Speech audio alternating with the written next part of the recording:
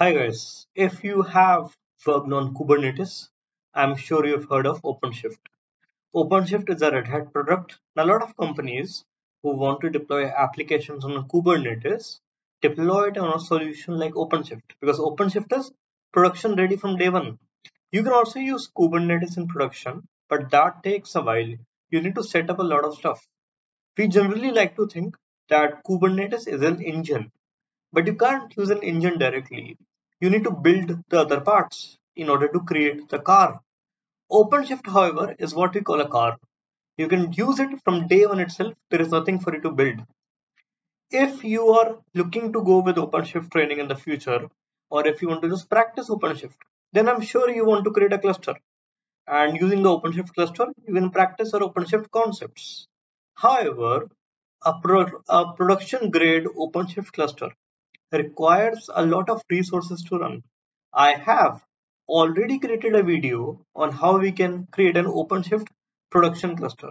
But in case you do not have a lot of resources available, in that case, you can also create a little OpenShift cluster for development and testing purpose. This is known as OpenShift local. Uh, previously, we used to call it code ready containers but now we have renamed it to OpenShift local. This is the equivalent of Minikube in Kubernetes, right? So we can use OpenShift local on our laptops if you want to go uh, in the future with the OpenShift training or the OpenShift certification. OpenShift local has lower number of requirements. As you can see on the screen, you can run this on RHEL 8 or RHEL 9. If you have a 32 GB partition available at the slash home directory with 4 CPU and 9 GB of RAM and obviously internet. OpenShift local creates a virtual machine within your virtual machine and that virtual machine contains OpenShift. So it also requires virtualization enabled on the VMware level or your hypervisor level, whichever hypervisor you are using. In this particular video, I want to show you how you can install OpenShift local and start using it for your training purpose. The first thing we need to do is create a virtual machine. Once we have the virtual machine created, then we can start by downloading the OpenShift local packages and installing them and also download any other prerequisite there is. I have created a GitHub repository that you can read to understand the steps that you will have to follow to get this running. I'll share the link in the description where you can see I have already given the commands required. The first thing we need to do is install the dependencies where we are installing three packages, Network Manager, libvirt and the QEMU KVM package. So let's just copy this command and then we are going to run this on our virtual machine. And we'll put sudo because we are a normal user we use OpenShift local via a normal user. We don't use it via the root user. It will not work if you try to run it as a root user. So as you can see here, the packages are already installed in my case. In your case, they will get installed. Once the packages are installed, the next thing you need is a Red Hat account. If you have given a Red Hat certification in the past, then you can use that same account for this purpose as well. Otherwise, you can create a free account on their website and once that account is created you can go to this url that's console.redhat.com slash openshift slash create slash local. And on this url you can download the packages. So this is what the url will look like. It will have three options. You can create the cluster on the cloud on the data center that's an on-prem prod cluster or a local cluster for testing purpose. We are using the local cluster here. Again there is a video on the prod cluster that I've created in the past. You can check that out from the link in description.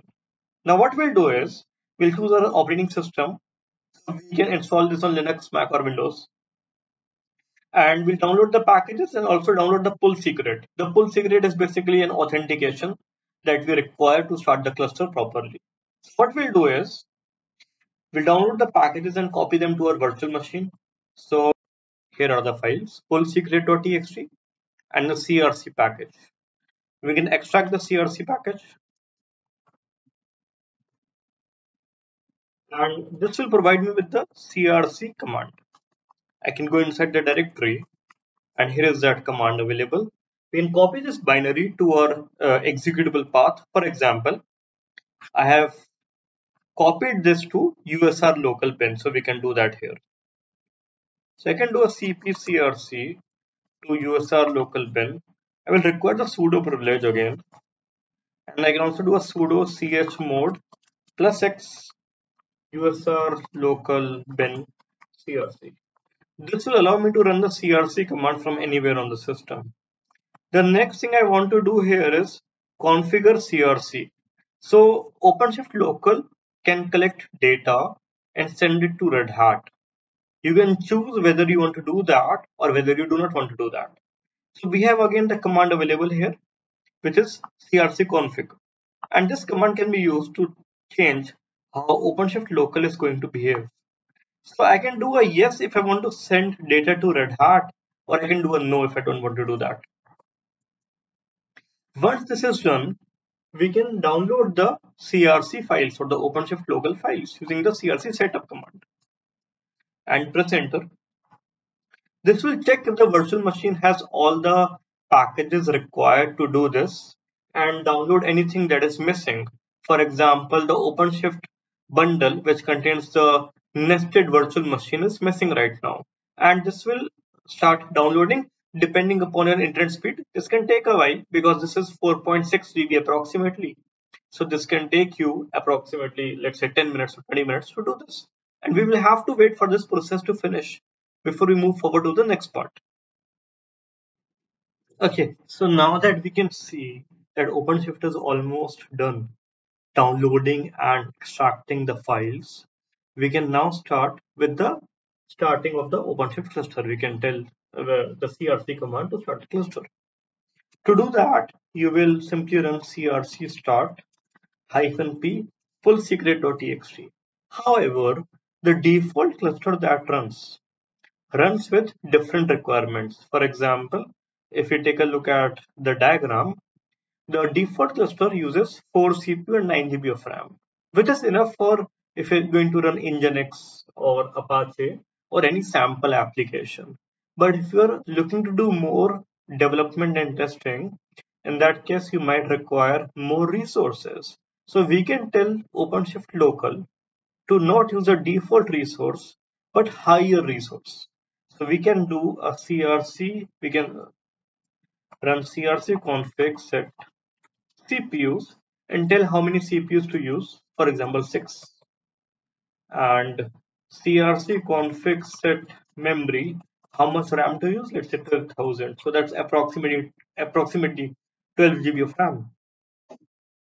Once this is done, now I can finally run a CRC start hyphen p pull secret.txt and press enter.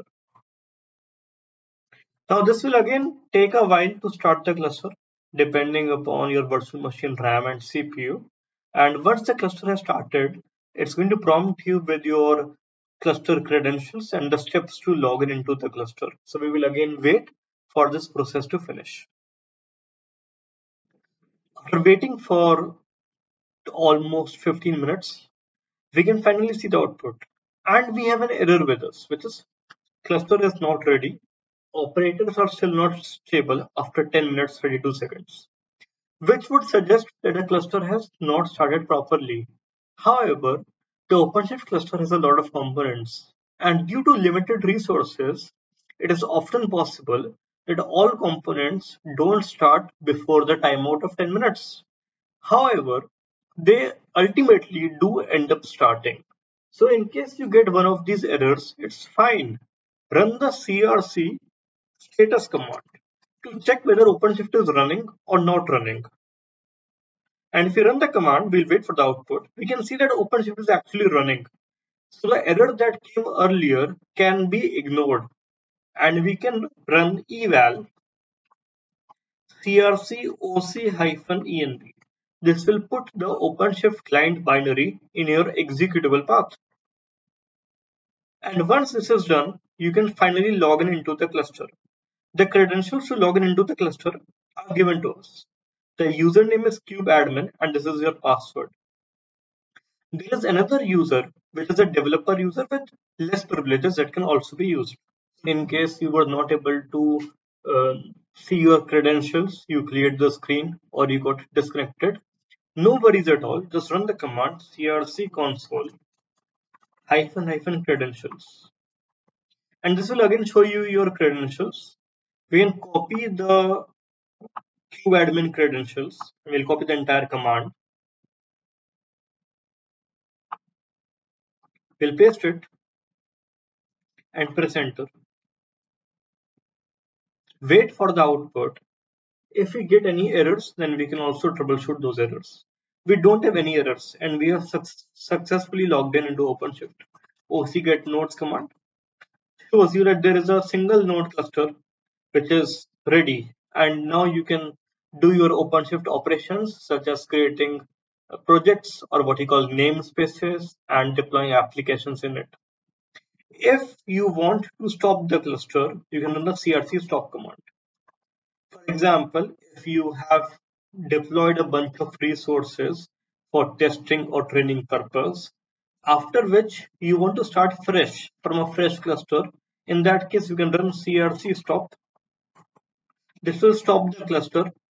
And after this, you can also run a crc delete to delete the cluster.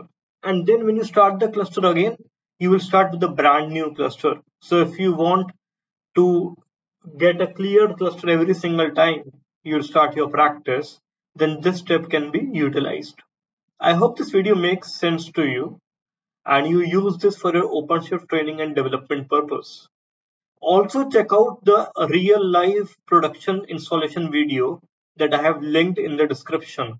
That's going to be very useful to understand the OpenShift installation process.